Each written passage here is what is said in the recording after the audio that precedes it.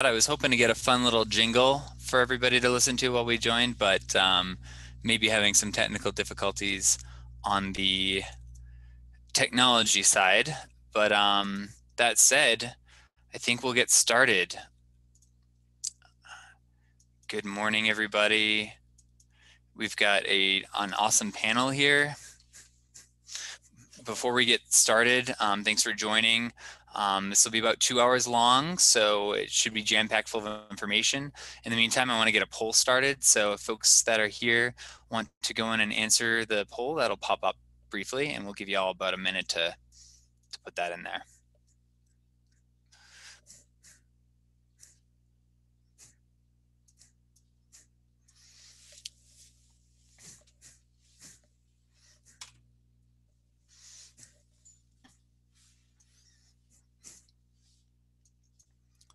Awesome. We're seeing some responses here come in, start to filter in. There we go.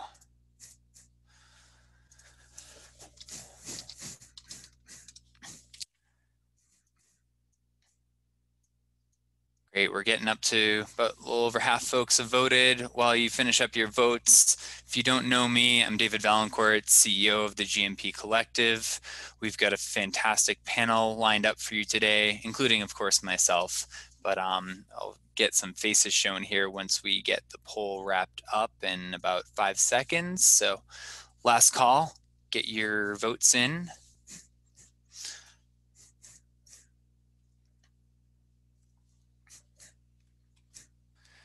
Awesome.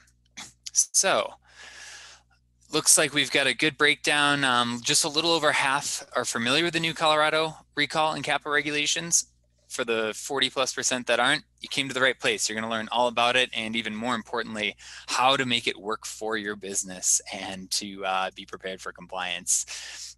I like to see that we've got a, a, good spread. We've got quite a bit of consultants on today. Um, love to chat with you guys anytime. Um, you know, we're all here to help the industry together. So the more we can educate, be on the same page, and um, you know, share these best practices with the manufacturers, cultivators, and dispensaries, et cetera, that are here, the better. Um, and it looks like we've got a, a good amount of uh, folks across the spectrum from uh, you know a senior level to compliance and leadership and you know really at the end of the day these practices are are for you guys. They're to allow the front you know, line workers to do their job, to have a process to improve and correct mistakes and prevent them from happening again because we're all humans and anytime there's a human involved, there's going to be a risk for error. So um, this is a great tool that prevents you from having to have a recall. But in the event that you have to have a recall, you've also got the tools.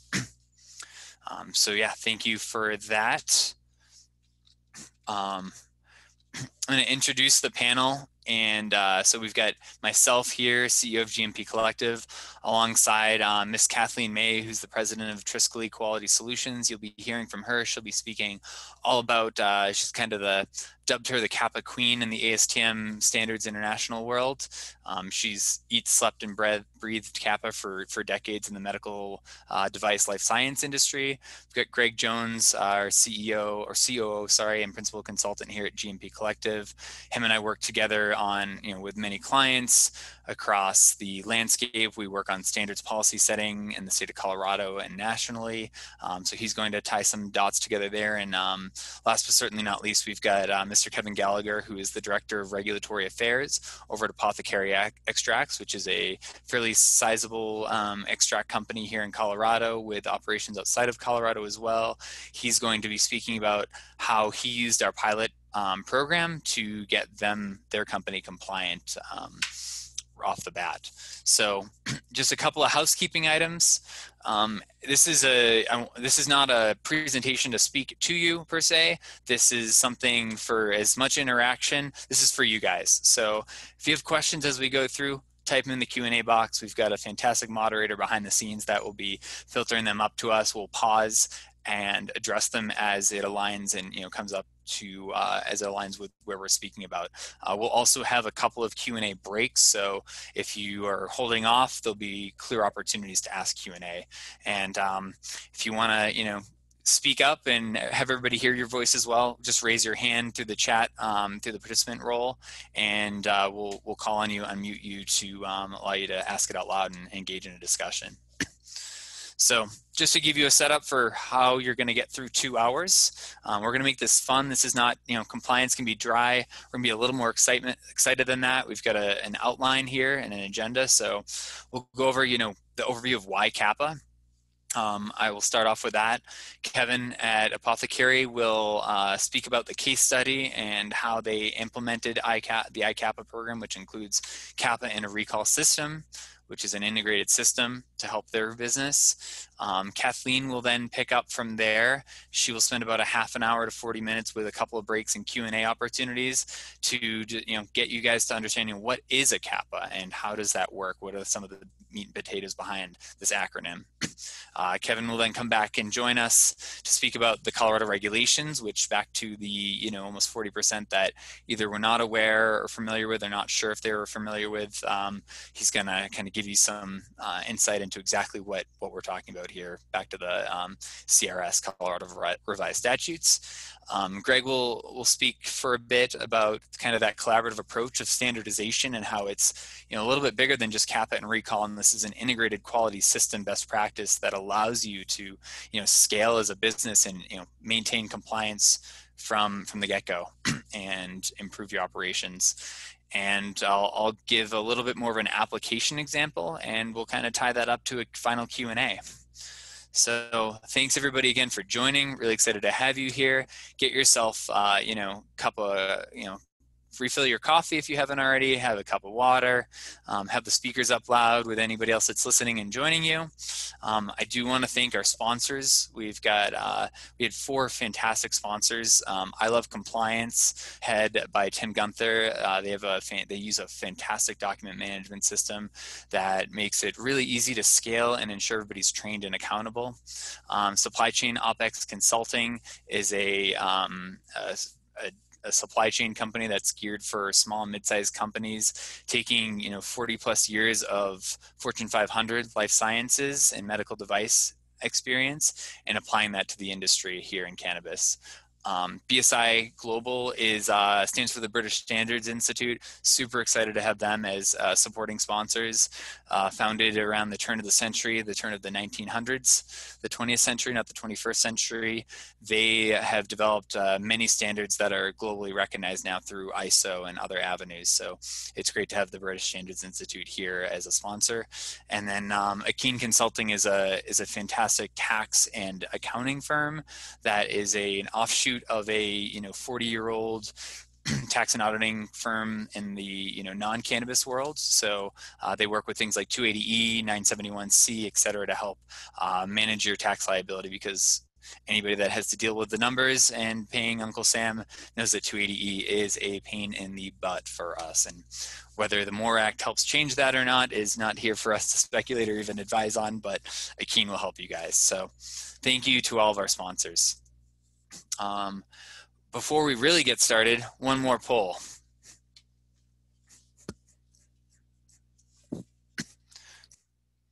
And give everybody, uh, so what does CAPA stand for? Um, go ahead and answer that question. I'll give you about a minute or so.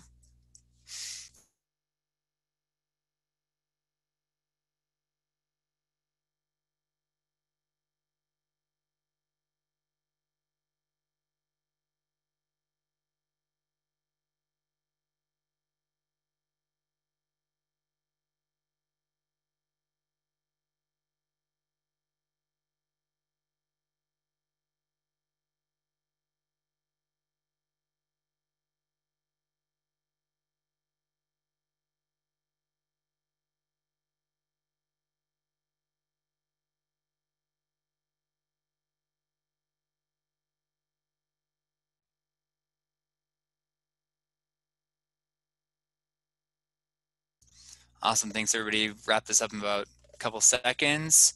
So what does CAPA stand for? It's funny. So this is uh, for folks this is our second event we've run. This is our second webinar. We did this last month. I am excited to see that the numbers have changed a little bit. I will say that the argument can be made um, number one 53% answered corrective action and preventative action that's technically not incorrect, but the more common lexicon is corrective action, preventive action. So, um, you know, there is some some lexicon and terminology there. Um, cry and pray a lot is definitely something that it can feel like, and um, let's let's just say that I think Kathleen will come in and help show you how you don't have to cry and pray a lot during a CAPA and how it can actually be effective. So let's kind of set the scene, right? Um, why are CAPAs? Why are recalls a thing? Well, for starters, mistakes happen. Um, and let's just look at the data here. This is from 2018. I use this because it's actually a nice visual layout, but the 2019 results are almost identical. Um, in Colorado, you have to final test almost every product. There is a reduced testing regimen through process validation, but for, for what it's worth, final testing packages that passed, you're looking at a 12% failure rate uh, for microbial and contaminants as well um, on flower and shaker trim, as well as um, you know just under 12% for infused edibles. The fact that that's happening it should be a major red flag to any business owner. Um, that's a pain point, right? And you've spent how many months propagating vegging, flowering your product, drying your product, just to find out that your process resulted in a failure of microbial contaminants. Um, best practices should be in place so that that does never happen. That's the exception, not the rule. And a CAPA again is a system that will put in that put it when put in place will allow you to go back and prevent that from happening so that this number actually increases. Um, and the fact that since it's been, you know, since Colorado's had a market for almost a decade now, this number has not improved. It is basically flatline, s- suggests that there is a lack of uh, improvement uh, best practices in place, and it's it's really hurting uh, yourselves. So. Um, this is a tool to help you guys improve, become more effective and sustainable so that you don't have to have a recall. Um, one quick uh, question I see popped up, I'll, I'll address. Uh, if the presentation will be made available after the webinar, the answer is yes. Both the PowerPoint will be shared and uh, we'll have this up on uh, a YouTube link for all to access later. So if you're not able to make the whole thing, which hopefully you can, um, or you want to share it with your team later or other folks, it will be available for watching. So again, failure rate, we're looking at greater than 10% here.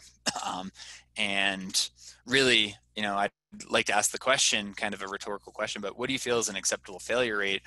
Um, I'd say 10% is a little bit too high for a profitable business.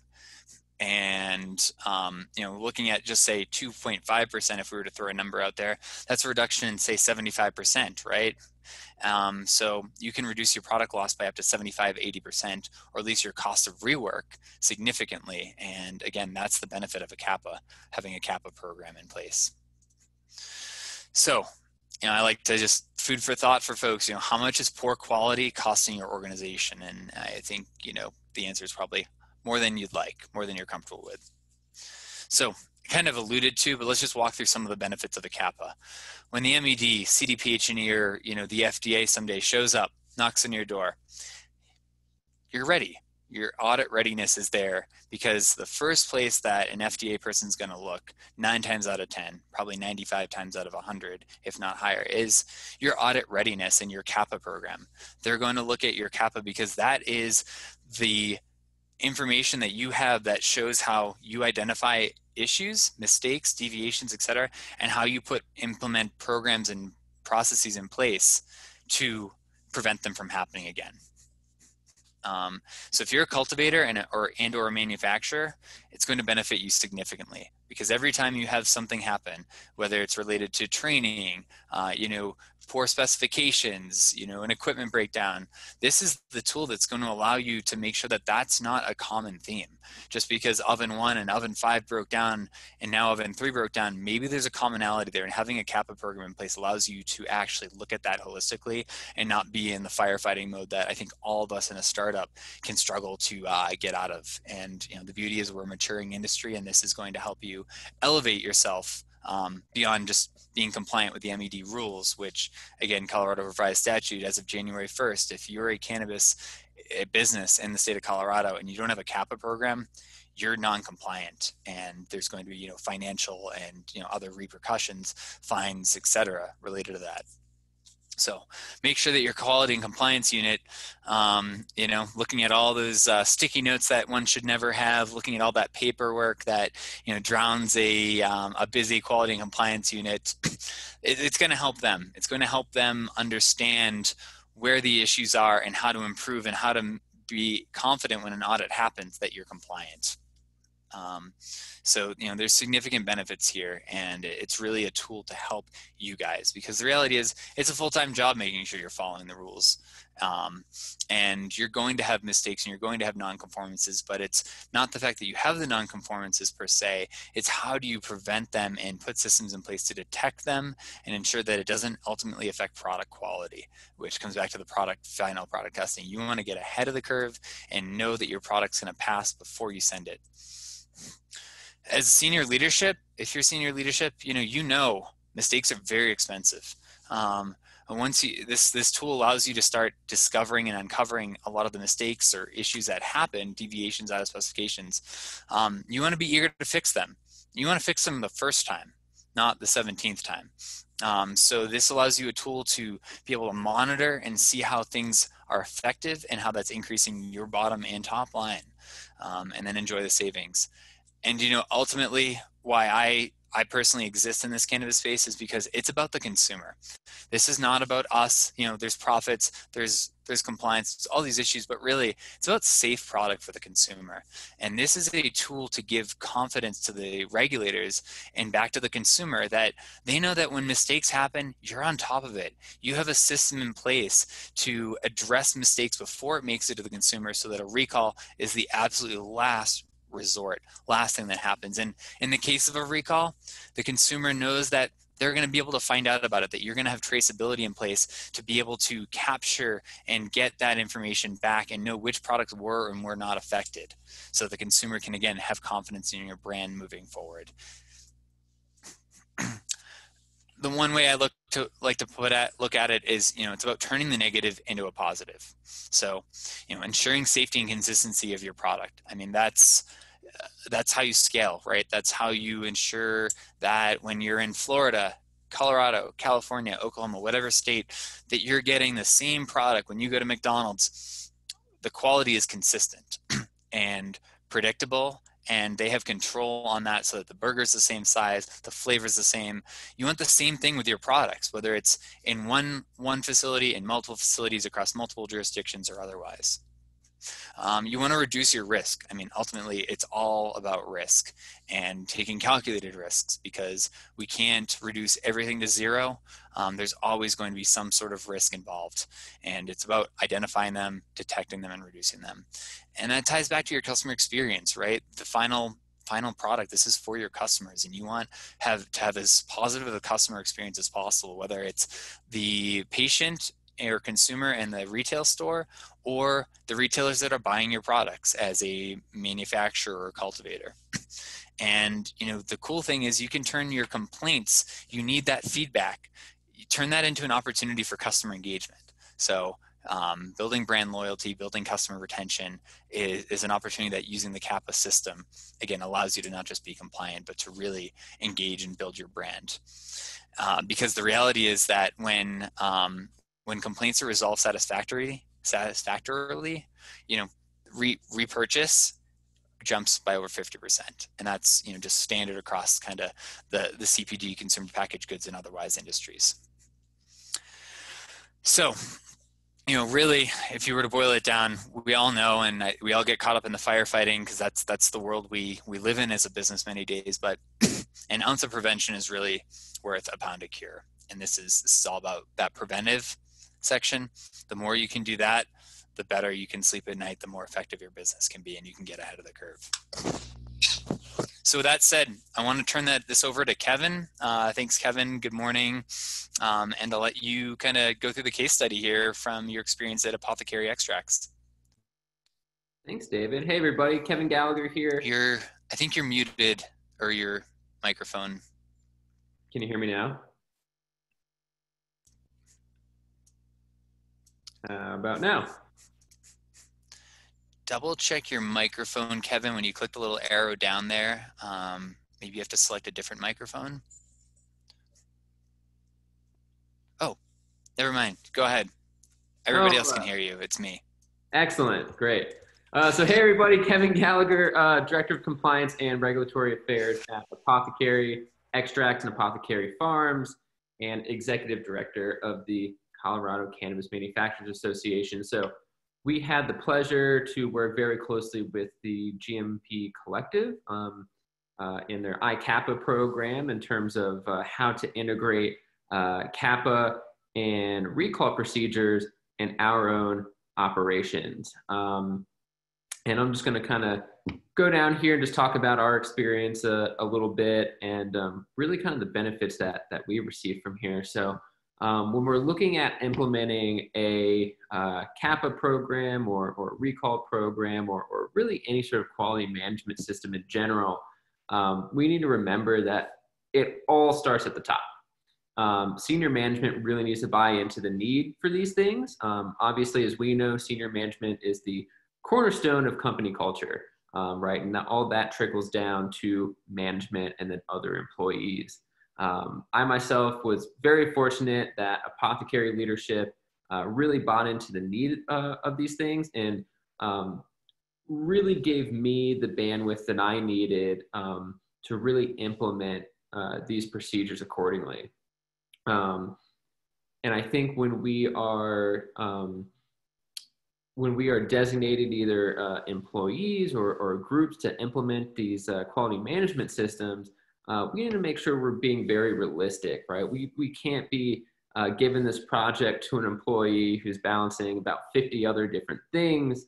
Um, you know, I tell people all the time that when you're looking at CAPA and recall in particular, um, these can't be implemented in a day or, or even a week for that matter, right? Um, it really takes uh, thoughtful implementation um, that you have to, uh, that you can't do alone. You have to integrate um, people in the trenches in this in, these things and, and, and make sure this stuff actually works. So um, don't take this stuff lightly. Um, you know, as David pointed out, not only is this a requirement, but this is actually a legitimate business tool that can protect your business, uh, protect your consumers, uh, mitigate liability. Um, I mean, really, this stuff is everything. So very important. So uh, in terms of our onboarding process, uh, we uh, utilize the help of both uh, the GMP Collective and uh, Power DMS. So I know uh, David was talking about uh, I Love Compliance and their useful document management system.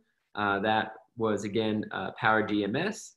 And I'll explain Power DMS a little bit more as I go down here. But um, it really made the onboarding process very seamless and, and, as easy as possible. So what's great about the collective is collective is that they really had an arsenal of documents um, and procedures related to CAPA, recall, and other quality management systems.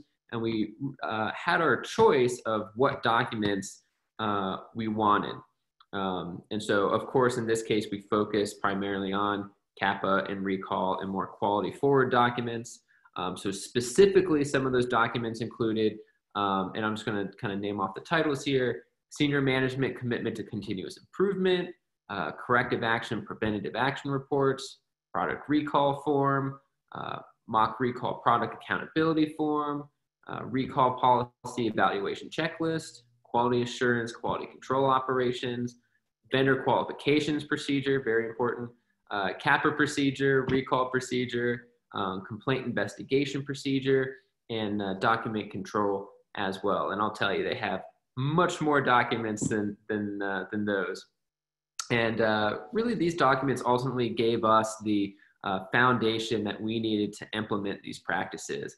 Um, and also, uh, you know, what was great is it really gave us also um, the confidence to, to implement this stuff as well. So um, all we had to do was um, connect each document to our own operations, right? These documents are just templates with a lot of useful information. So again, we just had to plug in our unique operations to it, maybe make it a little bit more applicable to maybe little things that we do. And then boom, we basically had a, a, a working procedure.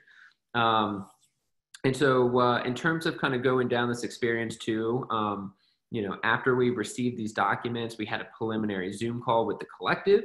Uh, we reviewed the documents uh, that we obtained in more detail, uh, why ultimately they were needed, um, and the best practices in terms of how to implement those uh, various documents and procedures.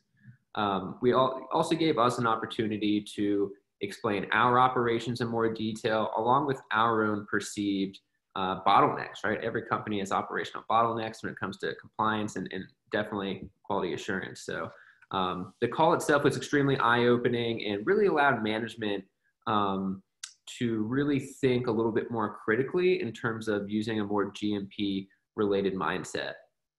Now, uh, uh, about a month later, a few weeks later or so, um, we did conduct our first mock recall. And so we were able to have a, uh, follow up phone call with the collective on that.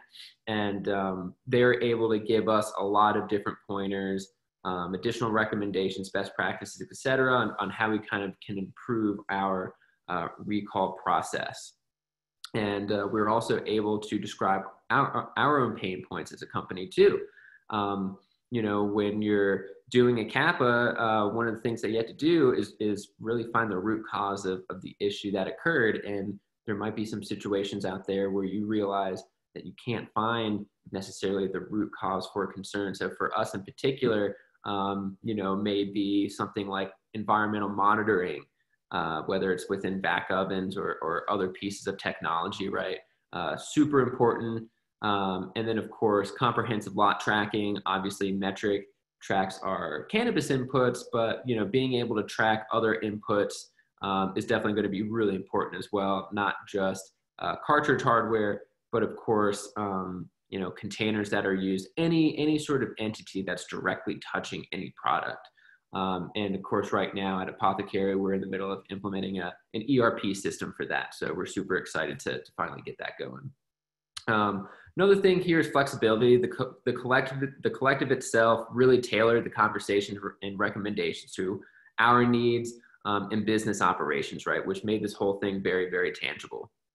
Now when we look at power dms um, again, it's a very, very comprehensive document management system. Uh, what's great about this is that uh, you know it's not some person in their basement that just made this program up just for the cannabis industry. Um, they're not reinventing the wheel here. Uh, this program has been around for uh, just about two decades now, um, and the folks at I Love Compliance uh, really held our hand in this process. Um, they were able to uh, set up these various documents in the system. Um, you know, prior to uploading those documents, they're able to give us some really good comprehensive training um, on how to use this system. And what's great is, right, not just managing documents, but actually assigning workflow for different documents. Um, this can be used as a training tool. You can upload training videos. You can create um, assessments on this stuff, um, especially as a, a, a multi uh, location entity in, in an MSO, right? This was super critical for us uh, to be able to uh, really implement consistent operations uh, company wide. And I know that that is a struggle for, for most companies, as David mentioned before, right? When you look at McDonald's, right, you have consistent operations around the country and probably around the world, right? Um, and that shouldn't be any different for cannabis businesses. So uh, being able to uh, you know align with a solid entity like Power DMS and I Love Compliance and the collective um, really has made our lives a lot easier. Um, in terms of, again, the biggest takeaways here um, is the mindset. It starts at the top. Um, the onboarding uh, process itself was very quick. Um, the GMP Collective has incredible SOPs and documents at their disposal um, and allows you the opportunity to pick the stuff that's right for your company. Um, again, Power DMS is extremely critical for operational consistency and document management, especially for MSOs.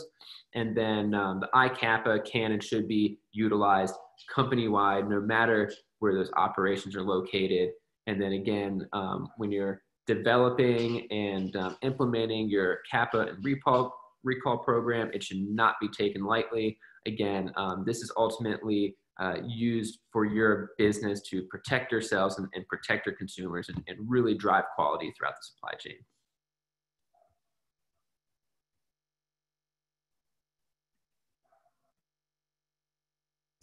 Awesome. Thank you so much, Kevin. Um, yeah, I could not, uh, you know, as you said, there's a lot of value here and, you know, to look at the continuous improvement perspective and management buy-in you know sitting around the table seeing profits stagnate or decline seeing sales not go super well um, you know we're seeing struggles and you know what if we don't change it all and something just magical happens well it's just not that simple and this is a tool to really help you right the ship and make data you know smart informed decisions um, so yeah we're gonna before we hand it over to kathleen um, want to take a, a quick poll break and I'm curious to see, you know, does your organization have a CAPA program?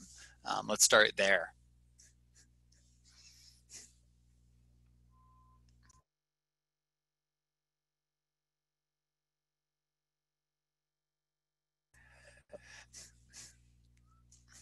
And um, again, if the answer is no, you're, you came in the right place. And if the answer is yes, then, uh, you know, we're excited to see uh, what you learn out of it because, you know, CAP is not, it's a tool.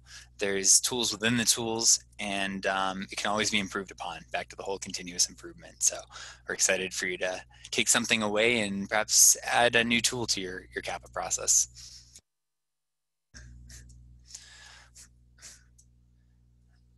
We'll give folks another about 15 seconds. Um, so if you haven't voted yet, get your votes in, folks. So we've got about 65% responded. So get back from that coffee break. You get about five seconds. Four, three, two, one, and uh, let's see here. What do we have?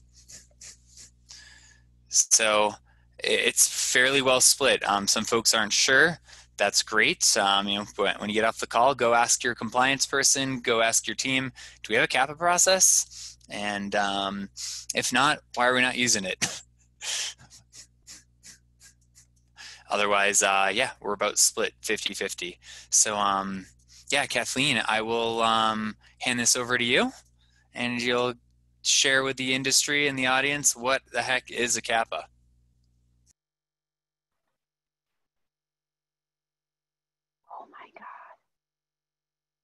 Hello? I hear you. Hello. I know. I just lost my screen though. That's not oh, good. No. Oh no. Oh wait, I'm back. I'm back. Okay. Ooh, I got nervous. well, we can see you. All bright-eyed and. Go good. for it, Kathleen. okay, so um, let's get into the nitty-gritty of, of what CAPA is. So um, as stated previously, CAPA stands for Corrective Action, Preventive Action. And CAPA focuses on identifying, investigating, and correcting quality issues and other undesirable um, events in your operation. A CAPA program analyzes data and data trends um, to really determine if an, if an issue is recurring, uh, possibly systemic in nature, or could potentially have an impact to consumer health and safety.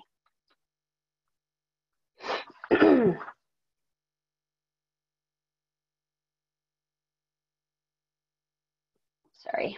Um, so what's the purpose of CAPA? CAPA, uh, the purpose of CAPA is to investigate the root cause of any product or process or other quality issue. Uh, a CAPA program identifies and implements appropriate corrective actions or preventive actions um, to prevent recurrence of an existing quality issue or the occurrence of a potential um, problem in your operation. Your CAPA program should monitor the effectiveness of implemented actions, um, there's no point in uh, implementing actions if they're actually not going to work. And your CAPA program really needs to, um, you know, have a procedure in place that requires the collection and the analysis of data Um, doing this allows your operation to act in a more proactive uh, state rather than uh, reactive. You know, that constant firefighting gets old. Um, of course, you can't you can't prevent every situation that happens in your operation, but the goal with your CAPA program is to try to be as proactive as, as possible. And ultimately, um, your CAPA program is there to ensure problems are detected and, and resolved. An auditor's gauge of the quality and compliance of an operation is how well they um, resolve their quality issues. So the CAPA, within your CAPA process, quality issues are defined, investigated, and ultimately corrected. CAPA activities occur in every process involved in your operation and in the product lifecycle. That includes you know, manufacturing deviations, laboratory out of specification investigations. An audit response is a type of CAPA. A process improvement is a type of CAPA, hence the acronym Corrective Action, Preventive Action. Not all CAPAs have to be corrective action in nature. Uh, the preventive action piece of CAPA allows you to do process improvements. Customer complaints are a type of CAPA and product recall, which is obviously a topic of today's conversation.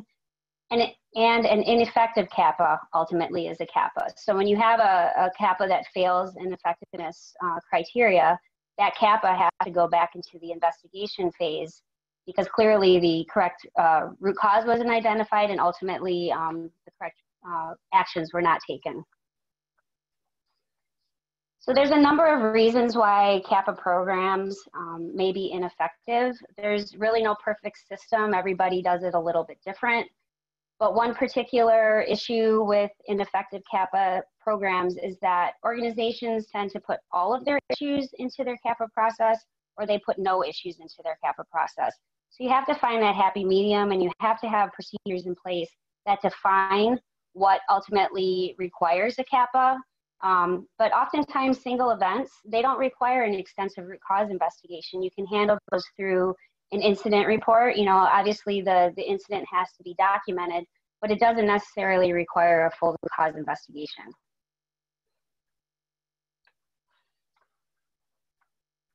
So here's an opportunity for some Q&A. Um, so what situations have you encountered that you'd like us to discuss and, and whether, you know, we can help you figure out if that situation should should be put into your CAPA program or not.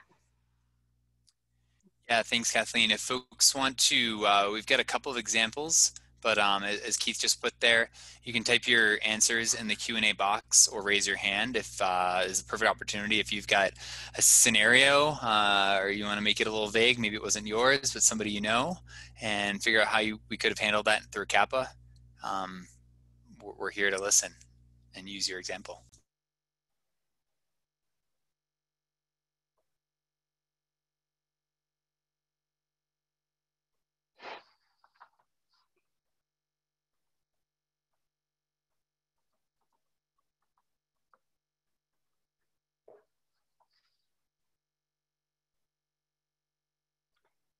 All right, so we have a, few examples here. We'll, we'll cover um, maybe a couple of them. So we have one, you are process validated and fall or fail, sorry, an ongoing test for residual salts. So the question is, would this be a CAPA? Um, yes, this would be a CAPA because you have a validated process that you clearly have deviated from because you have a failure for residual solvents. So this would definitely um, require a CAPA and would fall under um, your out of specification, uh, out of specification um, procedure for, for this particular situation.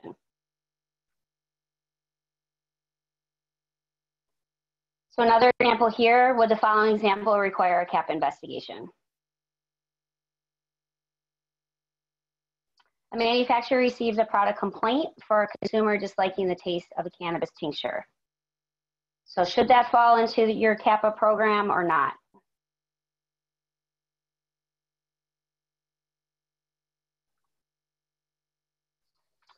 So this incident definitely should be documented. Um, however, this is, you know, this is the um, opinion uh, of the consumer and wouldn't necessarily um, need a root cause investigation because it's not there's really no impact to the product quality or product safety.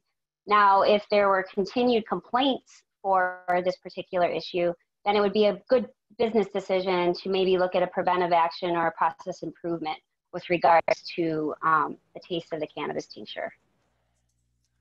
Awesome. Thanks, Kathleen. Hey, it looks like we've got uh, a, a question um, or an example situation here. Um, if a hair is found by a patient in their cannabis flower container and a complaint is made, um, could you maybe speak to that? Sure. Um, so this definitely, I mean, this this comes in, and, and, I haven't gotten into this yet with with my presentation, but David um, touched on this. You know, you get into part of the, you know, the initial um, process of, of doing a CAPA is doing an initial risk assessment. So that risk assessment determines severity, you know, or, or you know, potential impact to consumer health and safety.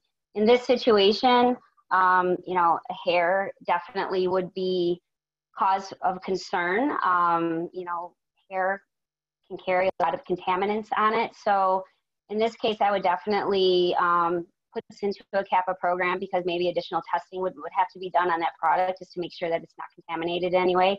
Because product testing is not, you're not testing your whole lot. It's only, you know, it's, it's, just, you're taking samples of that lot and testing it. So it, it's a good indicator that your product lot is, is safe, but, you know, it's, it's not 100% testing. So there might still be issues within that lot.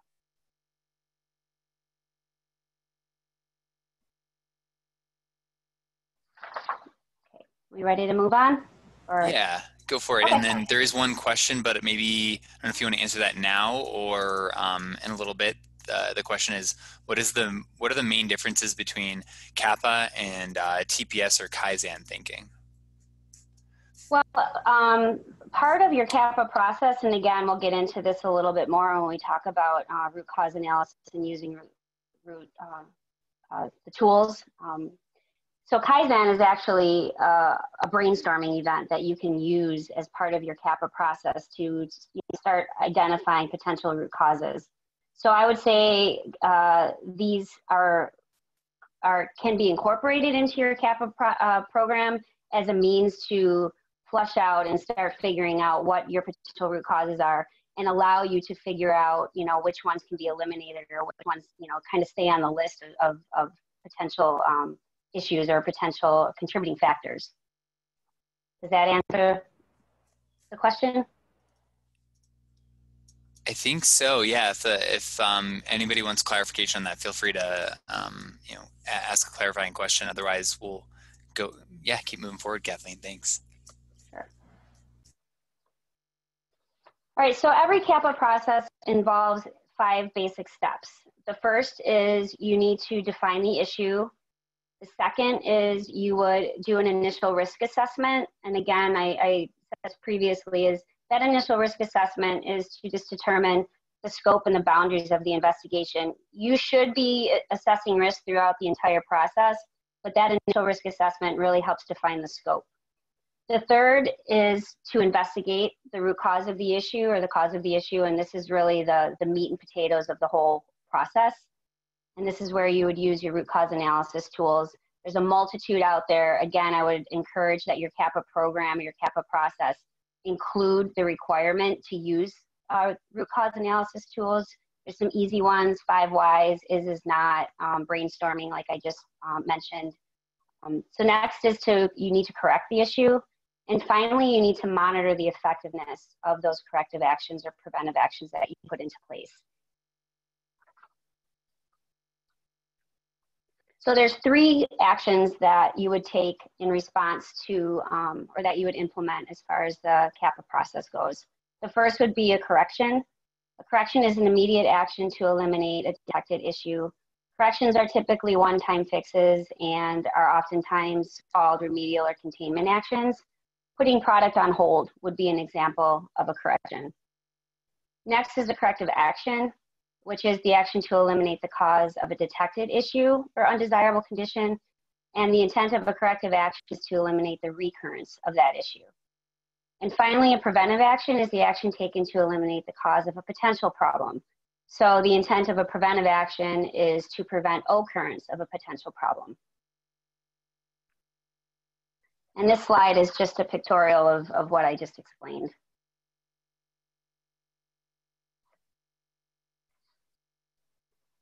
So let's dig a little deeper into the actual um, CAPA process flow. So that first step, like I said, is to define the, the problem.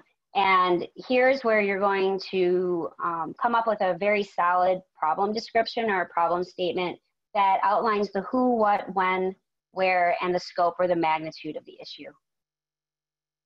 Next would be that initial risk assessment. Um, and again, this is just to, to, to put a boundary around um, what the issue is. And this is where you would identify if maybe if there's product out in the field that is potentially impacted by the issue. Next is the investigation. And again, this is, this is where the magic happens. This is where you're going to use your root cause analysis tools to help drill down to the root cause of the issue. Next is identifying appropriate corrections, corrective actions, or preventive actions. Next step is to verify and validate. So you want to make sure that whatever corrective actions that you've identified that they're actually going to work and that they're not going to ne negatively impact maybe some other um, you know other operation that you have or other process that you have in your operation or, or potentially could negatively affect the product. Next, of course, then is to implement those actions or yeah, implement those corrective actions and finally is the monitoring phase, which is um, the effectiveness uh, part of the CAPA process. And your effectiveness phase needs to have defined effectiveness criteria that you know that you can measure your effectivity against. So there's three uh, CAPA classifications, um, minor, major, and critical. Some operations may use low, medium, high. It doesn't really matter. So minor issues typically don't affect any quality attribute or critical process parameter. You won't do a root cause investigation because they're resolved by implementing immediate corrections. Uh, documentation error would be an ex example of a minor issue. You can do a simple good documentation practice correction, but of course with anything, um, you need to have objective evidence to support that decision and that justification. Major issues may affect a quality attribute or critical process parameter. Uh, there is a, a, likelihood of impact to consumers. Major issues may be the result of a trend of minor issues. More times than not, I mean, probably every time you have a major issue, you will conduct a root cause investigation. So a laboratory out of specification result would be an example of a major issue. And the impact to consumers is due to the fact that you'll have a delay in product release. And finally, critical issues will for sure affect a quality attribute or critical process parameter. The impact to consumers is highly probable. You will always conduct a root cause investigation.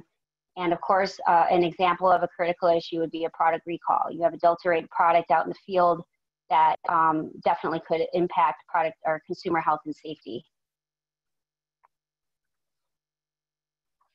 So I talked, I touched on this a little earlier about, you know, your CAPA program needs to have um, requirements to look at data. Data tells a story.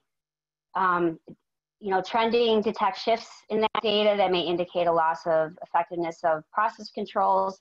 And it also identifies, you know, that maybe further investigation is needed to, you know, to make some process improvements, or maybe there's additional training requirements that would be necessary. Trending and monitoring, um, you should you can use statistical and non-statistical techniques.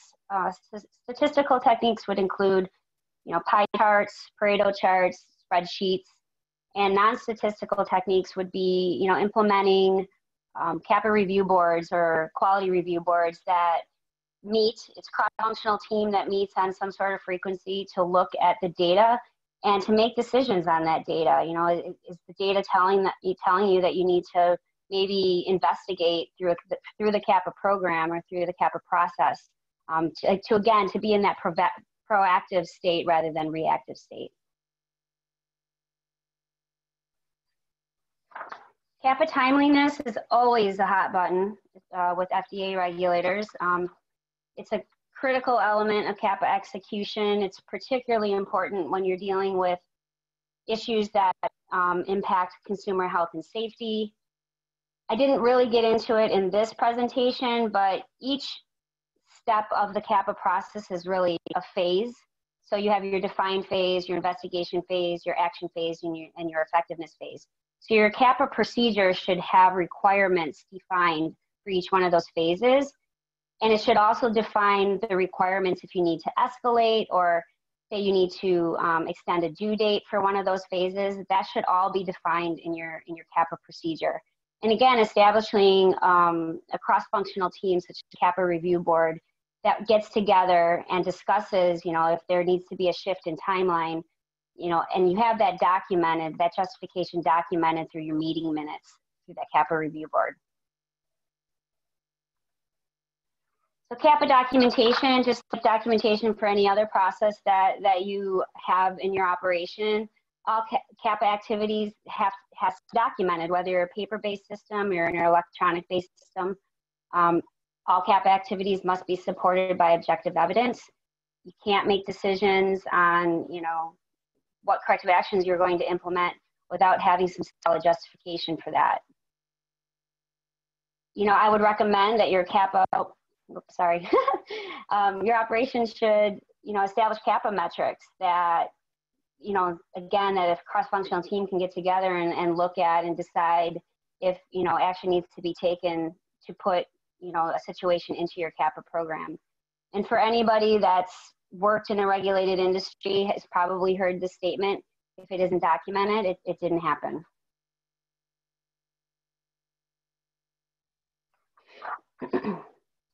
It's awesome. Thanks so much, Kathleen. Um, Want to uh, throw another question out there before we transition over to Kevin. Um, actually, oh, uh, Keith, can you change? Actually, we can use this one. Yeah, so go ahead. Uh, first question Is a CAPA required for a recall?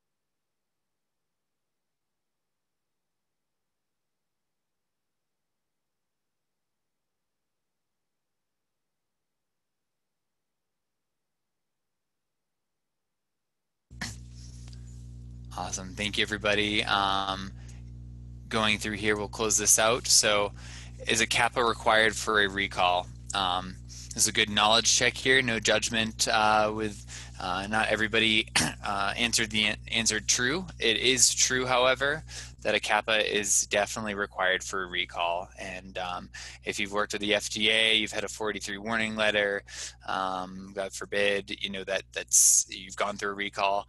How do you navigate through the recall? Well, and show that you've you know where's your effectiveness? It's using the tools of CAPA to uh, get through your recall process. So the answer is definitely true. Um, uh, before I switch to Kevin, actually, there's a great question that was asked. Um, Kathleen, if you're, yeah, if you want to jump back in here and um, the, answer the question, the question is, is a CAPA different from HACCP or is it part of it or vice versa? Um, yeah, Kathleen, you want to speak to that? So HACCP is is uh, essentially a risk assessment. So and HACCP is conducted in the food industry. So it's definitely, um, I mean, if you are following uh, the food regulations, your, your organization will have a HACCP program in place.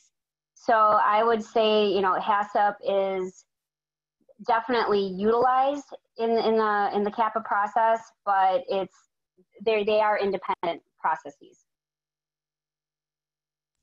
Yeah, Awesome. Thanks, Kathleen. Yeah, hopefully that helps answer your question. Um, if you want any more clarifications, um, you know, feel free to throw it in the chat or the Q&A, or we can um, we can maybe um, expand on that a little bit later um, towards the end of the the, the webinar.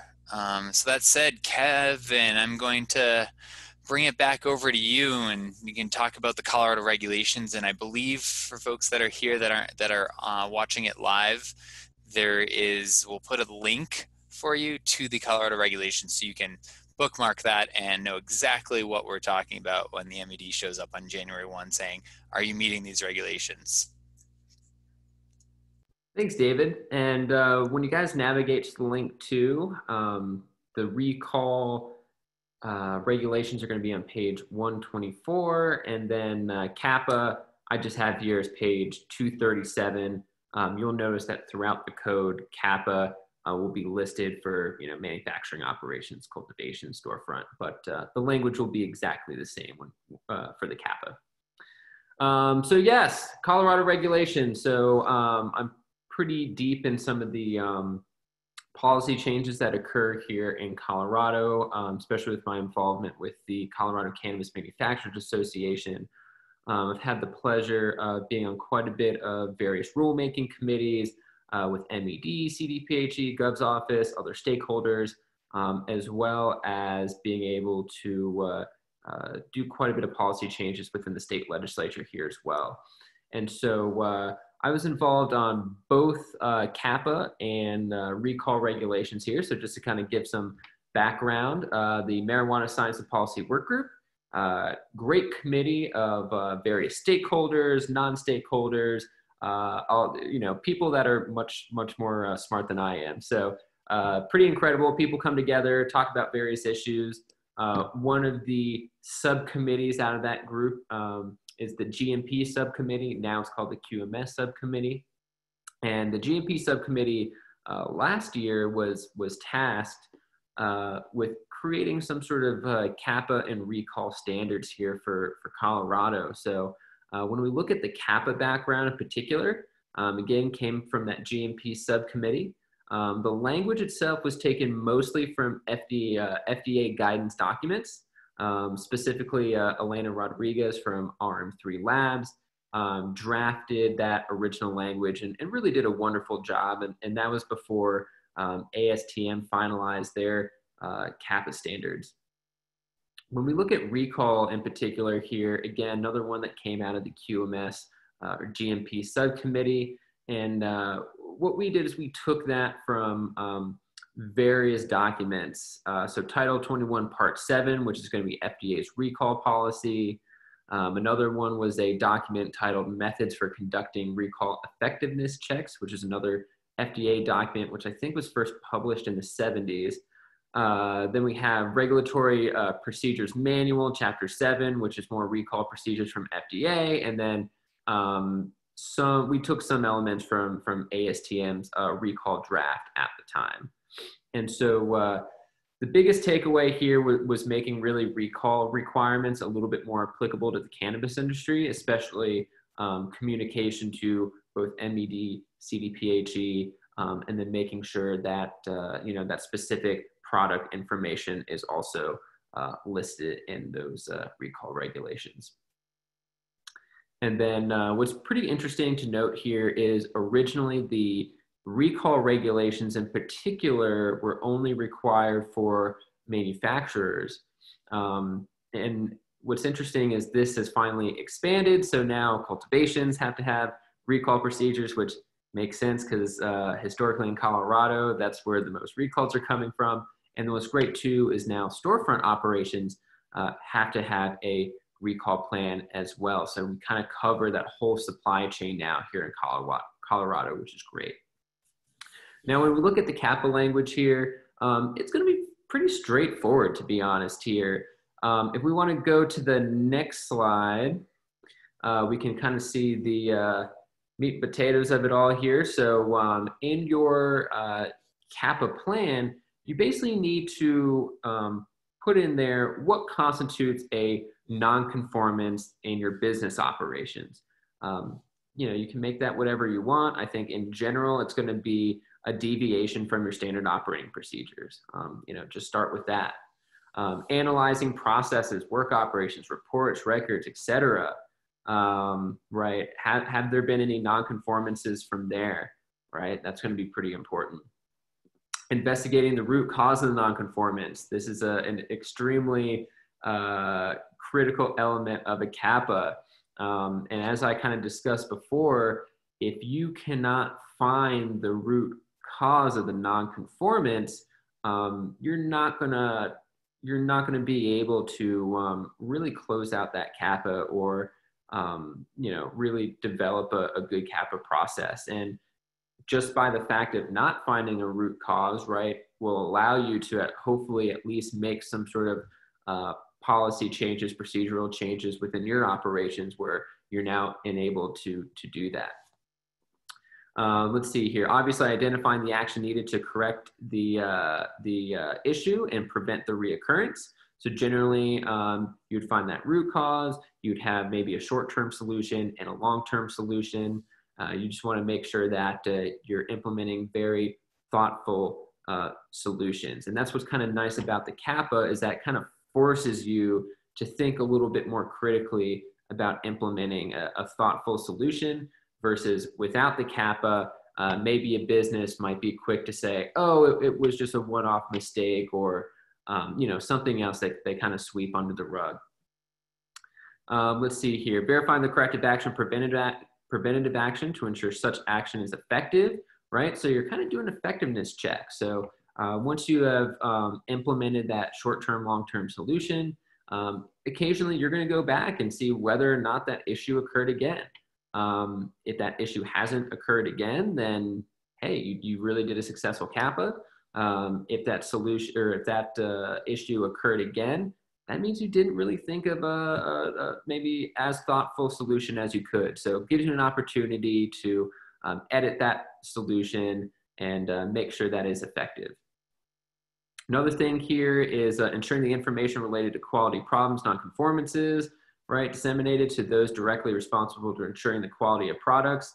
And so that's going to be important is making sure that you are relating pieces of information to the right people. Um, it shouldn't be just make one person that's doing the CAPA, right? You really want to make sure you're integrating the right um, employees with those uh, within those applicable parts of operations. And then last here, um, is submitting relevant information, identifying quality problems uh, of the corrective action, preventive action documentation, confirming the results of the evaluation for management for review. Again, you want to make sure that you're really uh, communicating uh, what's occurring here, what changes have been made. Um, again, not just to the employees in the trenches that are dealing with these issues, but also management as well.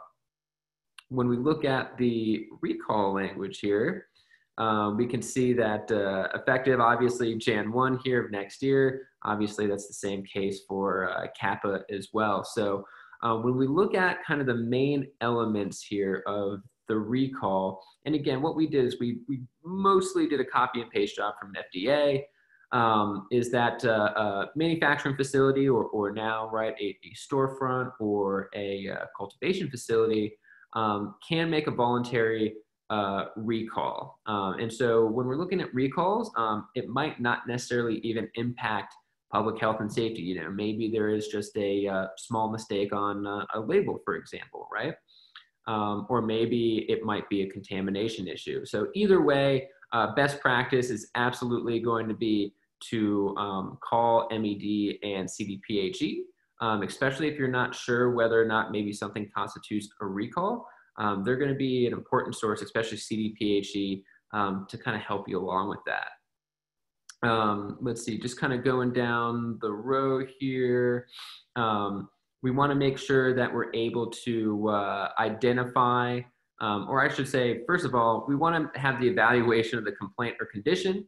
So you might have a consumer or patient call in, maybe someone got sick of something or uh, off of something or, or some sort of ad, adverse event reporting, right? As a business, uh, hopefully you're documenting all adverse events.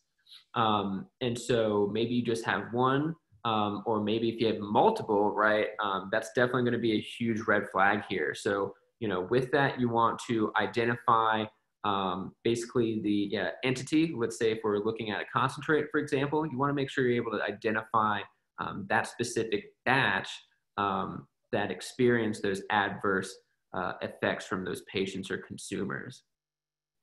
Um, on top of that, you want to make sure that you are notify, notifying the affected parties. Um, and so that could be if you're a manufacturer, right? Going down the supply chain, right? Course, Metrc helps with this stuff, and ERP systems going to help even better. But being able to identify um, those dispensaries or those other entities um, that uh, that your product was essentially transferred to. And of course, right at the same time, removal of the affected uh, product. So while you're communicating to the uh, dispensaries, for example, you want to make sure that they are removing that product off their shelves, quarantining their product. If you have some uh, inventory is still left, let's say at the manufacturing facility, that you are doing exactly the same, quarantining that product um, and uh, making sure that's not getting transferred. Um, you know, best practice too on, on top of that is hopefully you're going to be doing some additional testing on that product, right? And obviously, if something comes up, if it's a um, let's say a, a, contaminant, maybe maybe there's pesticides in there, right? Um, that's going to be really valuable information. So being able to quarantine uh, in a good amount of time is um, going to give you more valuable information, but of course, it's going to be better for public health and safety of your patients and consumers. Um, you know, kind of down the road a little bit too. Uh, additionally, you're going to want to do uh, what's called effectiveness checks. Um, and you want to basically ask yourself, has all the product been accounted for? If you're very lucky and all the product is accounted for, um, then technically you wouldn't generally do an effectiveness check. Um, but generally, again, 100% of the product isn't always accounted for. And so basically, what you're doing is you're contacting these uh, dispensaries or these folks uh, down the way in the supply chain and you're asking hey um, you know how much product was was sold at your store? How much were you able to quarantine? Right? Um, how much x out of whatever was was essentially sold.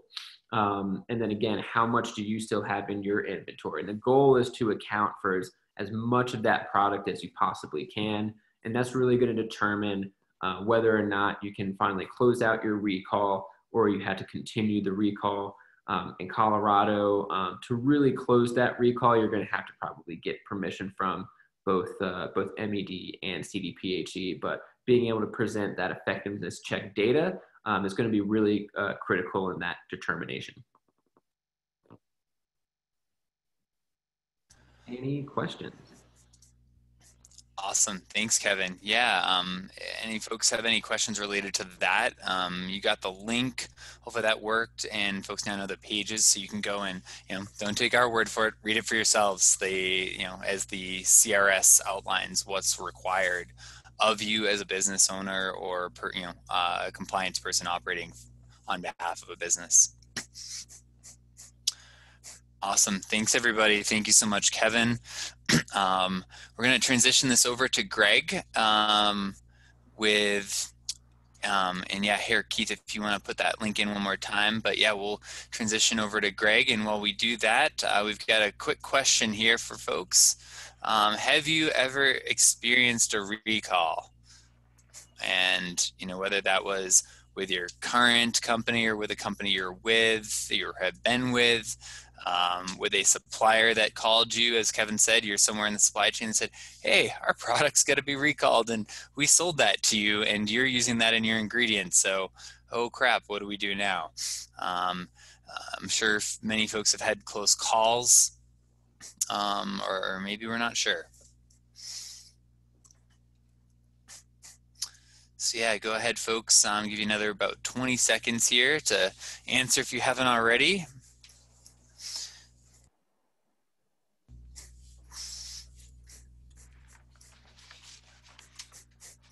We'll start closing that up here in about three seconds. So um, in terms of have you had experience with a recall, looks like the results are in. So fortunately, more than half of you um, have not yet had a uh, encounter with a recall. And you know, there's uh, a lot of folks will say there's there's kind of two types of companies. There's folks that have gone through a recall and the folks that will go through a recall. And uh, again, we're all humans. We make products. Eventually something's going to happen. And the best you can do to mitigate that and be prepared and limit the extent of a recall the better you'll be able to work through it. Um, and again it may not be yourself that was the the actual you know producer that require you know that made the mistake that resulted in the recall. Could be a raw material ingredient supplier um, or somebody uh, further uh, up in the supply chain that use their ingredients. So it's really important to um, to be aware of that and to be prepared uh, when you least expect it. Uh, so with that said, I've got Greg Jones here, and uh, thanks, Greg. Thanks, Kevin. I'll hand it over to you, Greg, to um, pick up. All right, thank you, David. Um, first thing I'd like to start out talking about is um, the I part in the iCAPA, that it's integrated, right? So the way I want to spend my next few minutes talking with you guys is how did we build out this program and call it an iCAPA program? And then from there, because none of this ever happens in a vacuum, I want to follow the path of how these things happen uh, within the industry and then of course within the regulations and some events that just happened recently that's going to basically have a much bigger influence um, on the industry from a, a regulatory standpoint. Well, for the first example, I want to start with um, MED comes out with a new regulation. It's new. It'll be law, right? January 1st uh, you must have a recall and a CAPA procedure. As you've heard through this whole uh, first first part of this first hour and a half, that can you have a CAPA without uh, a recall or a recall without a CAPA? You know, it's it's it's part of your document uh, control program. How do you set up your hierarchy of your documents? What do you need and how do you need to do that? And for example, if you need to find the root cause of uh, what you need to correct, you probably need to do an investigation. Well, you want to standardize that, so you put an investigation together. And that's the three basic SOPs that we put together uh, in this package. And then, of course, there's a whole bunch of other QA ones like how to handle a complaint, how do you do returns. Uh, I did, I like seeing the last one on the supplier uh, recalls, two of them, two people that are attending this. And I don't know if that's just because of the interest or hopefully, God forbid, more uh, supplier issues uh, are becoming a problem. Uh, as Kevin mentioned, that we're going to tie in uh, the start to finish of the supply chain, the cultivation all the way to retail stores, because in the past, that's not been a, a big talking point within our own supply chain. And if we don't take control of it and, and help build it out properly from the industry point of view, then it's going to be regulated to us and tell us how we're going to do this stuff. Again, back to all the working committees that are happening within industry, because my experience in about the last year and a half working within uh, the Colorado Science and Policy Group, along with some of the other people that are attending here, is that um, we, we, we get to do it in a collaborative uh, and a consensus basis uh, for the most part. And as David said in the very beginning, it's got to be integrated, it's got to be collaborative, and it's got to be consensus. So, talking on how standards are being made and put into place, instead of what are we up to, uh, 1933, how many states that have their own set of regulations just state to state? Well, we're all trying to drive toward FDA regulations. So, what drives that? Well, there's uh, different third-party organizations, ASTM for one, USP for another one. Uh, even even on a local level, CDPHE uh, has standards that that uh, we'll be looking at as as a uh, in-state committee of what makes the most difference. And then recently, like within the last week, it was announced uh, organization CANNRA, which is a group of about 19 different state regulatory bodies whether it's um, uh, cannabis related or whether it's even uh, through uh, their health departments. And uh, it's more of a regulatory, uh, they're not pro or anti cannabis or C, CBD hemp. They're in business to help advise other states as they come online and share uh, the, um, the, the, challenges, the victories, and uh, whatever else needs to happen. So they're an advisory board so what we talked about in our group uh, recently, our subcommittee group, was that basically we're now working uh, for and with 19 other states that are putting uh, um, new standards in process. Well, again, back to ASTM, for instance, even though it's an international organization, uh, it's open to anybody that wants to join. Uh, at the very least, you can uh, review and challenge any standards that are come through, coming through. It's a peer review process. They won't pass something if they don't get enough uh, activity on it. So even though you're just one person, you can you can author and uh, write a standard for submission for review. And when it becomes one, and then uh, you can see where I'm going with all this as far as integrating these same standards that are basically used throughout in different industries, certainly pharmaceutical, dietary supplements. A lot of this stuff is based on something that already exists. So why not just take the best of it or just adopt the standard, whichever one makes the most sense and put it in there. And here we are. So to, uh, to wrap up, I guess, to slow down a little bit, um, if you just look at, at, at, how some of this stuff came about today, uh, this program is that, like Kevin said, we worked with them uh, to do an implementation here, but it was certainly much bigger than just the collective uh, uh putting in a small system, the iCAPA. But you can see where it threads and integrates into everything else within, within their organization. Then, instead of preventing that from becoming overwhelming by just doing this on paper or through spreadsheets, is highly recommend getting some type of a manage uh, or a document management system for review, for training, for updates, for all kinds of good stuff. So there's lots of opportunity to integrate that into your system as well. I know that's that's one of the challenges industry has, and I'm sure anybody in industry would agree with that. Is we don't want to overwhelm ourselves overwhelm ourselves with how we do stuff, but at the same time, if we don't document it, again, it didn't happen. So there's there's lots of opportunities. There's lots of resources. There's just lots of great collaboration uh, going on, uh, crossing over regulatory, um, industry, um, third-party standards. So if anybody has any questions uh, outside of just this program and stuff, hopefully you'll have some great resources to reach out to and anything we can do to help you with. So if you have any questions, uh, I'll be happy to answer them. Otherwise, uh, David, we can move into the next section. Awesome. Thanks so much, Greg. Yeah, anybody, uh, you know, a lot of good information there. Um, you know, as Greg pointed out, ASTM International, if folks want to Google that aren't aware of it, ASTM D37, that should bring you straight to the website. That's an international standards organization that is 120 years old. Um, quick fun fun fact before I segue to understand where you know where standardization, why you know CAPA and recall and all this good happy stuff comes into play. Um, for example, turn of the century, uh, railroads were being built across across our um, our great country. Um, and I have to remember that it's 2020. So when I say turn of the century, I'm not referring to 20 years ago. I'm referring to 120 years ago.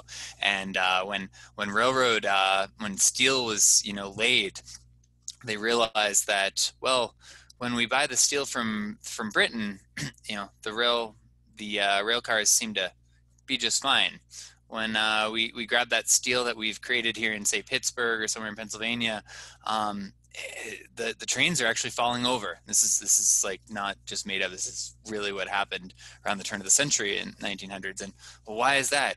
well, because some they've treated the steel differently. It's not all steel is steel. You know, there's different grades and classes of steel and production methods that go into harden that steel, right? Um, so so literally, ASTM was born out of that around the turn of uh, I think it was 1896 is when um, American uh, standardization for testing and materials was created, and now here we are in 2020, four years old, um, is the ASTM D37 Cannabis Standards Committee. So helping drive consensus adoption for standards across the world um, for cannabis. And um, you know, as a business owner, you want to be able to uh, you know grow your company in a sustainable fashion and you know be able to compare apples to apples while your your product is better safer etc um, without standardization you you don't have that right? So there, there's a lot of value there and i urge folks to get involved um, be involved and that's something we can all certainly um, you know share with you guys more information on. Um, so again why are we here right? Um, you know recalls is kind of the worst case scenario right?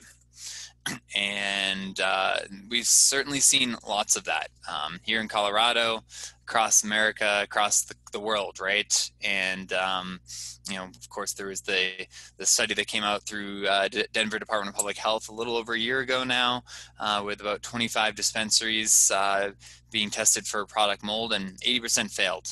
that that that should be a little scary because back to testing. Well, uh, the testing results were already scary enough in my eyes at 12% failure rate final product testing, but somehow there was 68% of products that passed and uh, somehow failed later. So again, is your is your process effective? Does it ensure safety beyond product testing? Have you built quality into it before product testing? Those are all critical components that again as a business owner or as a compliance person, you don't have to fight any more fires than you have to. Uh, you don't want to be surprised that your product failed because you didn't have process in place and so you know here's just as we've kind of gone through time right? There's recalls left and right you know in later uh, you know august there was a you know recent one i believe there's been two since then. Um, it's a painful it's a painful experience that nobody ever wants to have to deal with. And you know of course in michigan we had this um, uh, you know while while this was a one-off um, who licked my pre-roll um, it, it just takes this to get into the news, to the national news, that hurts us as an industry, right? Um, whether it was super isolated and that's not representative of the industry, the consumer doesn't realize that. The consumer sees this item, right?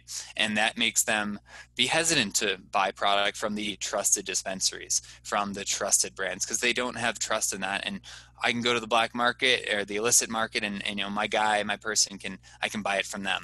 And without, you know, the more these things happen, the the harder it's going to be for us to you know burn through that stigmatization. Um, so having a CAPA process in place to be able to detect these things and prevent them from happening and controlling it is critical.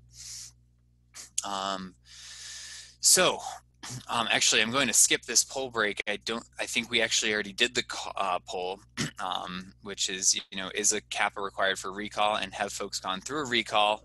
Um, you know, for the folks that have gone through a recall, you can probably speak to uh, the painful experience. Um, maybe it gives you a little bit of shivers, chills, or um, maybe there's some PTSD there. So, you know, I, I apologize for folks that have gone through that. I, I, know how traumatic it is. It can be, and um, you know, let that serve as a lesson um, that that no other person should have to go through that. Um, let's let's reduce the severity of that, because reality is, you know, the cost of a recall is far beyond the financial losses of the product that has to be destroyed.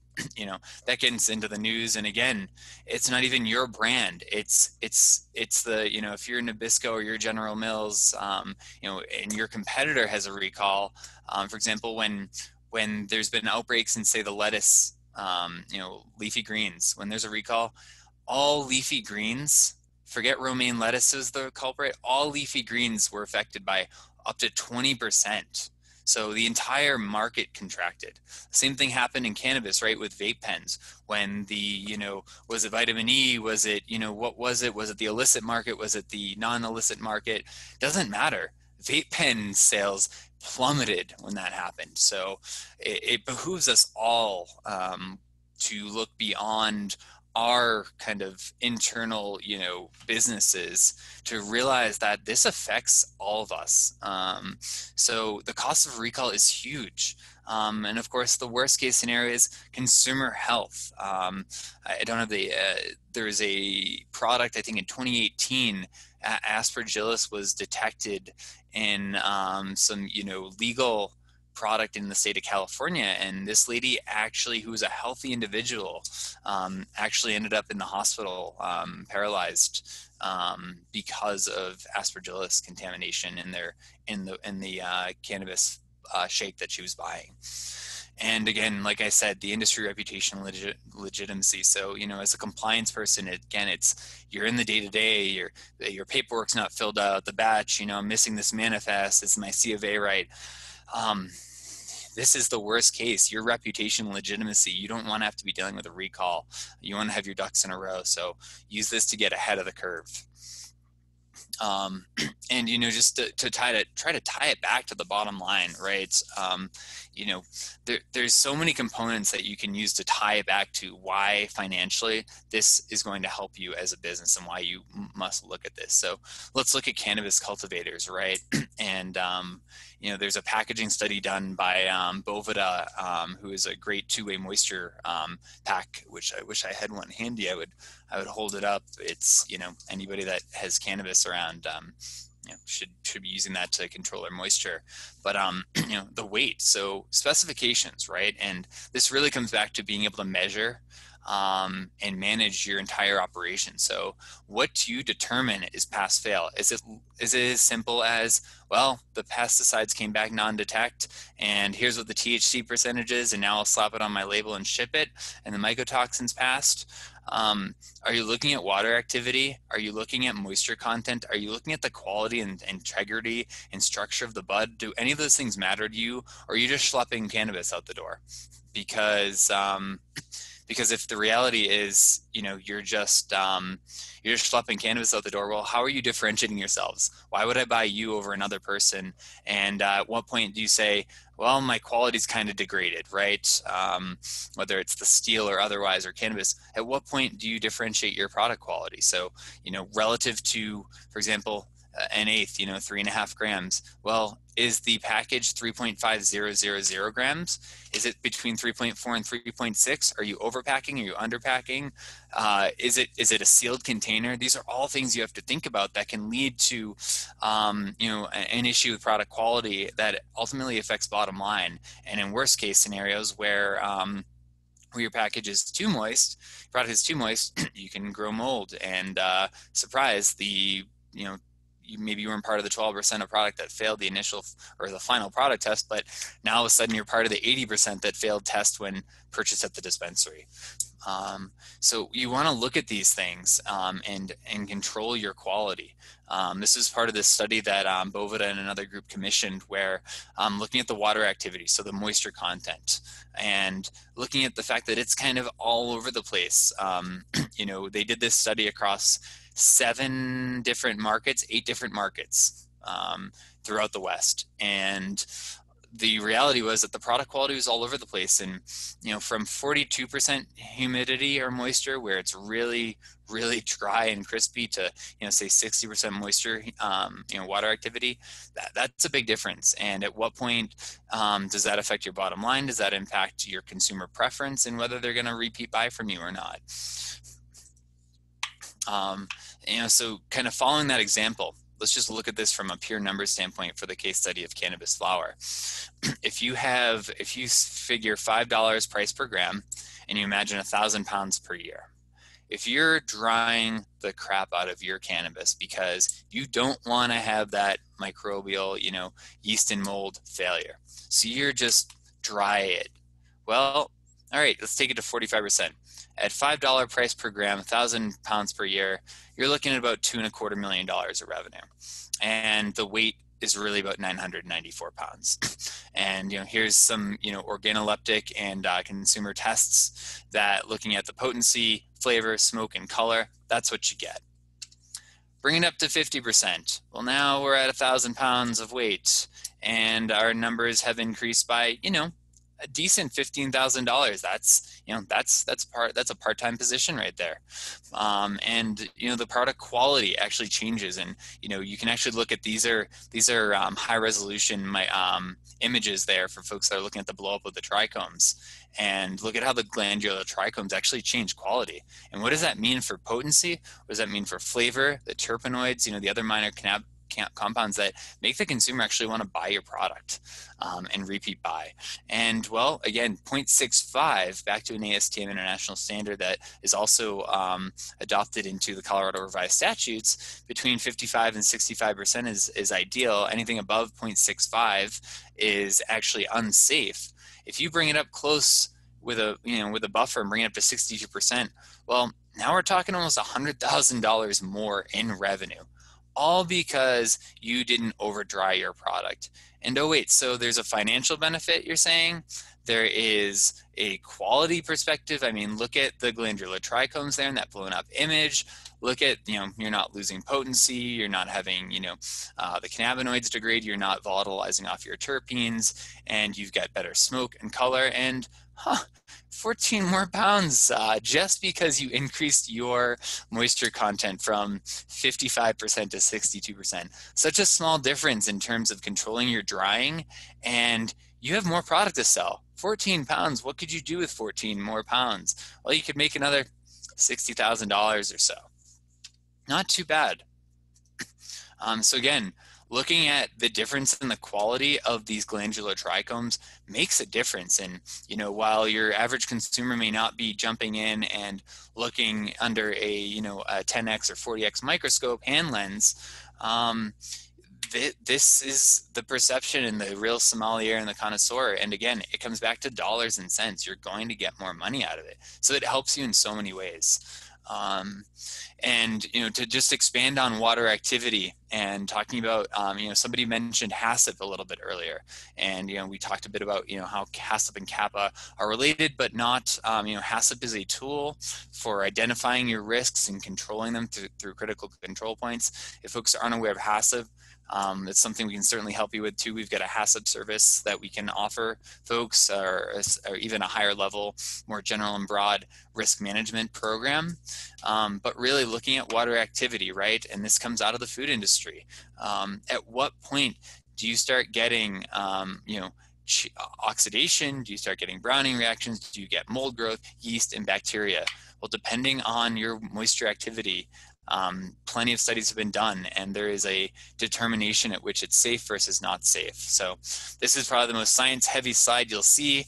Take a look at it later. Um, don't, don't get caught up in, in graphs and bar curves um, or you'll need another cup of coffee if you're not a statistician or a math, math nerd. Um, so again, what do you want your product to look like? Um, is this is this acceptable? You know, when this comes out of Denver's uh, dispensaries because the product was not controlled or you know handled in a controlled manner.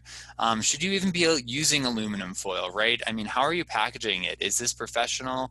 Um, I like to I like to think back to you know use the analogy that there is a difference between Thanksgiving's coming up and of course Thanksgiving in 2020 is not going to look like a Thanksgiving in, in the rest of the in any other year for most folks. Um, and you know, it's one thing to produce um, to bring the brownies and the dessert for your family, and you know, this year it might be a very small family um, versus scaling it up and producing for you know a congregation of 300 people or you know an industry and consumers that are thousands of people.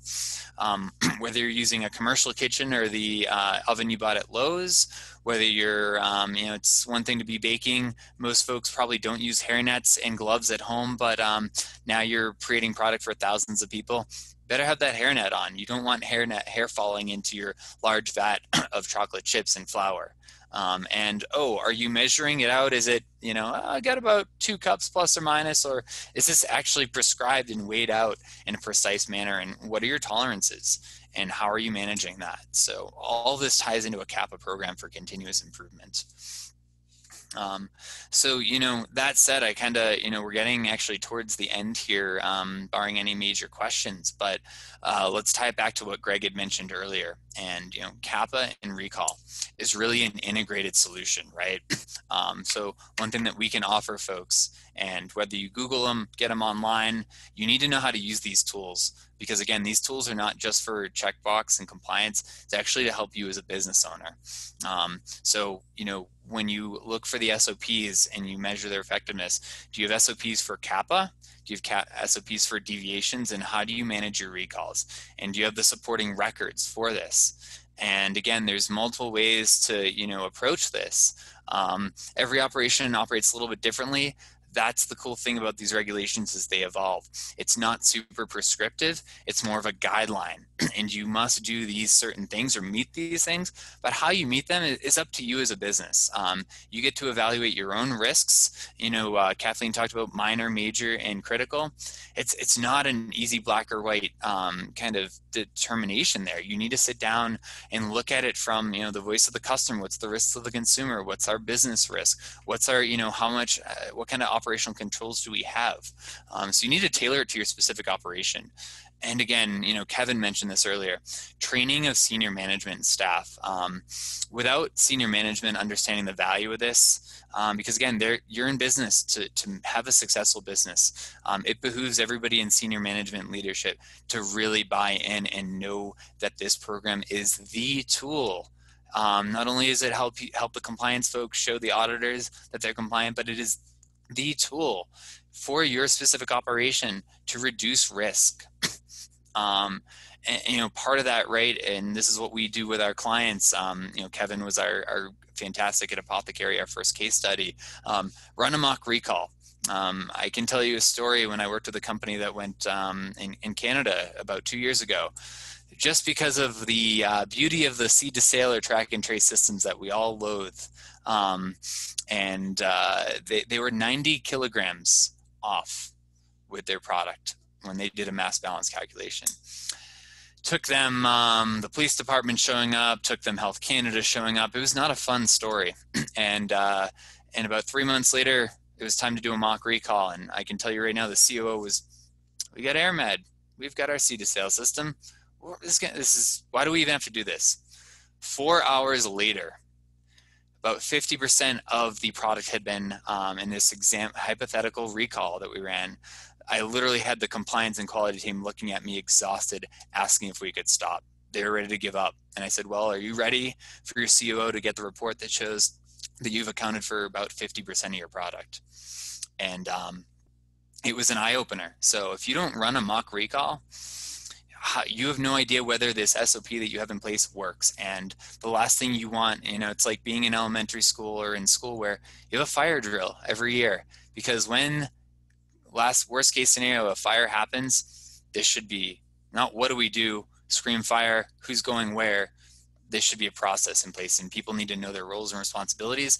You need to know where to get that information, because ultimately that ties back to the effectiveness report, right? And ensuring that your program is effective. This is to work for you guys. It's to keep the industry safe. It's to keep our reputation there. Um, and again, so folks that want to, you know, learn more, please, you know, reach out to us at ICAPA at gmp-c.com or gmpcollective.com um, because really this is so important and is, again, it's compliant, it's required, January 1. um, we, I see another question come in here. Um, so yeah, you know, is there a general CAPA program in written form we can purchase for our company as a starting point? Um, two things related to that.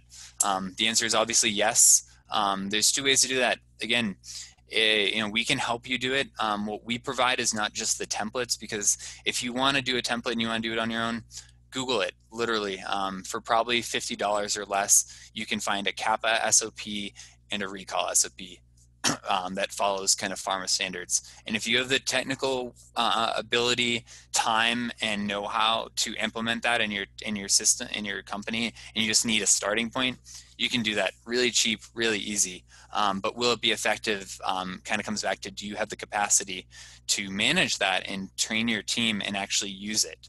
Uh, if the answer is no, call us. We've got a solution for you, um, which includes the training of the senior management and staff, walking through that first mock recall with you, and you know seeing what an effectiveness report looks like, so you guys can identify your weaknesses and improve on them. Um, so hopefully that kind of answers your question there. And you know, as we kind of think about, you know, what are the takeaways and how do you use this? You know, before you even think about a CAPA program, look back internally, reflect on your operation, um, and ask these questions. You know, how well do you understand your operation? And by that, you know, I mean, do you know what your weekly uh, throughput is? Do you know um, the last time your piece of equipment was calibrated? Um, how what's the theoretical or optimal yield of an extraction process. You know how do you know who does what on what day? Does first shift and second shift do the same thing? Do they how do you know that they do the same thing? Um, how well do you understand your operation? And specifications you know this all comes back to specifications the, the, fun part is we we're dealing with a botanical product right? So uh, you know i have a lot of folks when we first work with clients they're like well this is a this is a natural product. It grows wild. Like how can i control it? And you know the first thing i kind of push back with is why did you spend millions of dollars to control to build an indoor facility if it's just that easy, just let it grow outdoors and why are you even worried about it? If you've installed an HVAC system for a reason, you've put certain lights, you, you toiled over the kind of lights you're going to use and the kind of nutrients you're going to use. That's an, an attempt to control and optimize your product quality, right? So you need specifications to define what's good, what's not so good, and then what's going to stop us in our tracks and not release that product before the MED says, oh, your product's unsafe and there's a recall, or your testing lab says your results failed. Um, you know, and, and really thinking about it back to the, if it's not documented, it didn't happen. Um, are you documenting your challenges? I like to call them challenges in a way that allows you to demonstrate improvement. So just because you're within this range, X and Y, um, can you improve? Is that acceptable? Do you want to get better? Um, is it a profitable uh, range that you're operating in? How do you how do you demonstrate improvement? because all of these are tied together. Um, and and really, you know, back to the part of you know your staff. Do they have the right tools? Do they have the effectiveness um, form? Do they have a deviation or not a spec form? Do they know how to use it? Have they been trained on it? Um, because you know quality starts on the production floor and it, it, behooves every every business owner to um, kind of empower and employ their their production line, their front staff, frontline workers, to get it right the first time and have the tools to be set up for success, so the compliance can work with them to make sure that they are maintaining compliance, and that when things go wrong, because again we're all humans, and this is you know living breathing organism, there's so many variables um, that you have the tools to um, to go through a corrective action process and a root cause investigation um, to ensure that these things are met while being compliant. Um, so with that said, I want to take it to one more poll break, and then we will um, we will start to wrap up here. So. I'll pause here. Um, actually, is that true, Keith? I think we're going to save that for the the exit um, the exit poll. Um, so we'll actually move forward here and wrap up. Um, you know, really to kind of tie this in. So, folks have any final questions, please um, please raise your hand um, throw it in the q&a i hope we've uh, done a good job at answering most folks questions. Really appreciate everybody's time. Um, the beauty is you know there are solutions at your disposal. Um, there's us at the gmp collective and then of course there's there's these partners you know. It starts and ends with supply chain. Um, you need to manage your supply chain because you know as, as there were several folks that answered earlier in one of the polls it wasn't them that had to deal with the recall but it was their supplier that they had to manage a recall uh, because of. So, you know, managing your supply chain, being able to predict how your outputs and your inputs, and not having to scramble to you know rush order materials and ingredients. You know that that allows you to actually get ahead of the curve and not be in firefighting mode and um, not be blindsided by mistakes because you're having to rush. Um, so that's that's something that you know supply chain OpEx consulting really helps with, and we work really close with them on on many projects. Um, BSI is you know globally recognized, um, over 100 years old. they provide um, you know world-class services and quality management, risk assessments, et cetera. I'm really happy to have them around. Um, you know, and it all ties back to numbers, right? So pulling, merging in with a Keen Consulting, for example, to understand your your tax uh, applications. I even just learned with a client the other day that um, there's there's ways to look at this from a research and development perspective and get state tax credits based on the continuous improvement working you're doing. So use CAPA as a tool to actually um, take business deductions that you could not have taken before because of 280E. Um, there's ways to get a little bit more creative there and um, applying it. So uh, Akin's a great group for that. And then of course tying it all together, as Kevin mentioned, um, you know, I love compliance. Um, they, they use um, Power DMS, which, um, if I recall, the MED actually uses Power DMS. The state of Colorado, um, the Denver Crime Lab, uh, the Colorado State Police, um, hospitals, they use the software that I Love Compliance utilizes to help our clients maintain um, compliance from you know training records sops document control all these things that can be a real pain in the butt to do by by paper especially in a covid world where if your employees don't have to be in every day you don't want them in every day um, how do you have an electronic system? So i love compliance works with retailers um, dispensaries uh, all over the all over the country. um, they're with several multi-state operators, and it's a great tool that um, that Tim's group at I Love Compliance offers. So there's great solutions at, at your disposal. Um, and um, so yeah, we're we're gonna get to wrap up a little bit early, so folks can maybe get out 15 minutes early before um, before you know you kind of move on with your day. But I really appreciate your time, folks. Um, there will be an exit survey um, so please, you know, um, answer that exit survey. One of the questions is, do you want do you want help? Um, do you want us to reach out to you? Um, you know, we can we can follow up with you directly, um, short of you uh, emailing us. So I just want to thank everybody that that attended. I want to thank um, our our panelists, myself, Kathleen, really appreciate your time and expertise. It's been great working with you. Um, thank you for bringing your 25 plus years of, you know, medical life science expertise in the CAPA world to the cannabis industry. We need more folks to transcend that. Um, Greg, thank you so much for being, uh, you know, our right hand man, making sure that operations works and um, providing clients with value in these solutions. And uh, Kevin, thanks for being part of this, uh, you know, pilot program and being able to demonstrate a success story of uh, what, you know, how CAPA and uh, mock recall program can work for you. Um, so I'm not seeing any um, any questions but um, feel free to jump them. We'll, we'll hang on the line here. I was going to have a fun outro video, but unfortunately, uh, my I'm having some technical difficulties on my computer. So um, stand by for some more follow-up information. And uh, I uh, really appreciate your time, everybody. Have a great rest of your day.